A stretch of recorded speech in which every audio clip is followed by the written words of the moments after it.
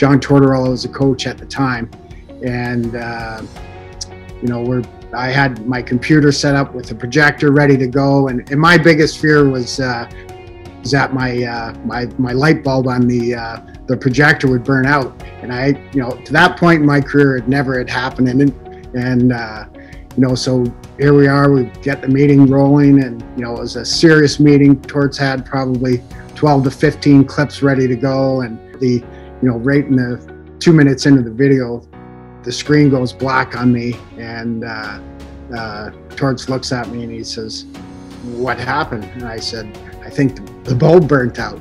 And he just threw his pencil down and paper down. He goes, "This can't happen right now." So, so I, uh, you know, I'm looking at it and trying to figure out what to do, and you know, wheeling another TV or something. Uh, long story short, I, I just basically I had reset my computer the day before and forgot to turn off, you know, the sleep mode on the on the computer. So it was basically the computer going to sleep.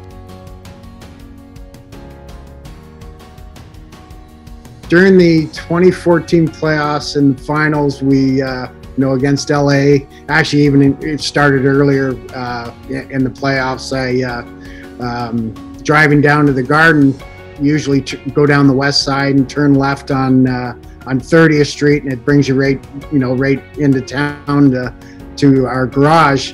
And for whatever one day we uh, 30th was blocked off, and I ended up going, you know, three or four blocks down further, and uh, we ended up winning. We ended up going on a pretty good streak, you know, through the through the playoffs. So to this day, I still go down to 26, I think it is, uh, you know, going to the Garden. So just to hopefully bring us a little good luck.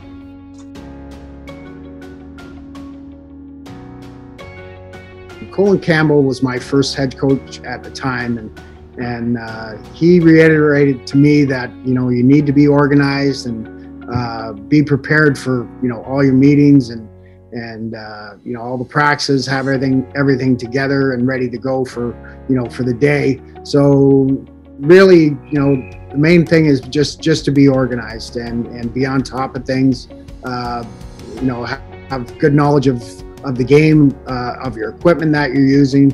Uh, you know, so so basically, just be organized.